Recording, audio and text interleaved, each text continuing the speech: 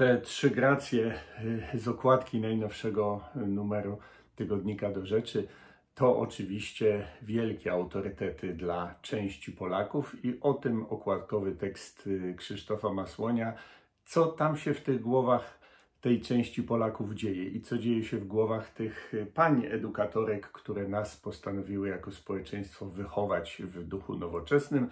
A tak się przypadkiem złożyło, że zupełnie nie uzgadniając tego z Krzysztofem Masłoniem napisałem nieco w podobnym y, duchu idący tekst y, zajmujący się podobną tematyką, a mianowicie wizjami y, rewolucyjnymi, które roją się dzisiaj liberalno-lewicowej Polsce. Tym wizją rewolucji, która ma przyjść i zrobić coś, jakąś wielką, z przeproszeniem, rozpierduchę, która obali PiS i wreszcie sprawi, żeby było tak, jak było. Te dwa teksty w bloku okładkowym i polecam serdecznie, a poza tym dużo piszemy o, o rozmaitych kłopotach, na przykład y, o kłopotach, y, z którymi, y, które będziemy mieli, które będzie miała obecnie władza, jeżeli potwierdzi się wygrana Johna Bidena w, w wyborach prezydenckich amerykańskich.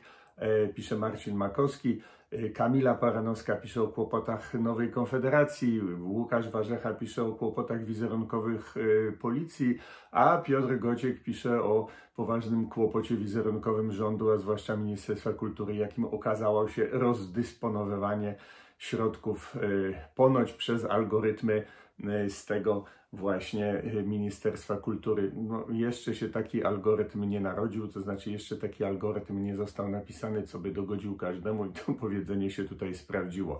Również o kłopotach, które mamy z Unią Europejską, a to już drugi e, tydzień trwać, trwa i trwać będzie w naszym tygodniku dyskusja. Piotr Semka ze swoim e, zdaniem e, w zasadzie tak, ale i nie, to znaczy no zresztą co mam mówić, przeczytajcie Państwo sami. Narobiliśmy w poprzednim numerze huku, czy raczej wokół nas narobiono huku, atakując nas straszliwie za to, że ośmielamy się w ogóle dyskutować o tym, na jakich warunkach Polska powinna być w Unii Europejskiej, bo przecież wiadomo, że absolutnie na każdych, bo jak nie, to nas wyrzucą i w ogóle słońce przestanie dawać mleko, jak to Sławek Jastrzębowski mówi. Owoż będziemy bezczelnie dalej dyskutować i będziemy namawiać, żeby w tej kwestii kierować się, jak w każdej innej należy, merytorycznymi racjami, przesłankami, wyliczeniami, a nie histerią.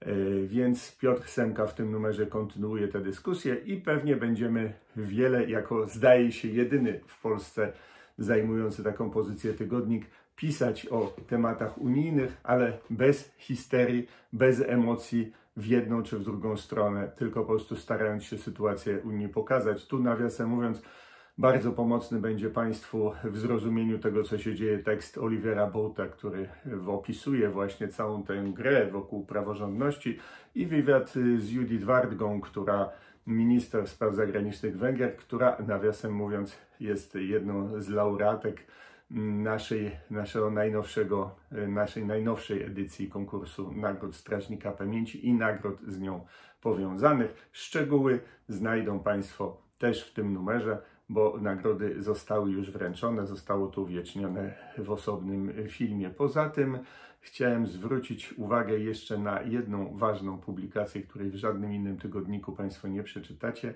E, doktor Mariusz Buchowiak, e, profesor Kornelia Polak i profesor Roman Zieliński piszą o wątpliwościach, delikatnie mówiąc, co do e, sensowności użycia testów mających wykrywać COVID, czy te testy rzeczywiście coś wykrywają i czy rzeczywiście y, coś dają, czy tylko jeszcze bardziej mącą nasz y, ogląd tej sytuacji. Myślę, że nazwiska y, i tytuły naukowe i dorobek naukowy autorów tej publikacji nie pozwalają jej zbyć wzruszeniem ramionami i jakimiś frazesami o płaskoziemcach w analogiczny sposób, jak próbuje się zbywać dyskusję o Unii Europejskiej. Dodam jeszcze, że do tego numeru dołączamy duży e, dodatek forum gospodarcze, powiem bardzo istotnych i ciekawych informacji dla tych, którzy są zainteresowani polską przedsiębiorczością.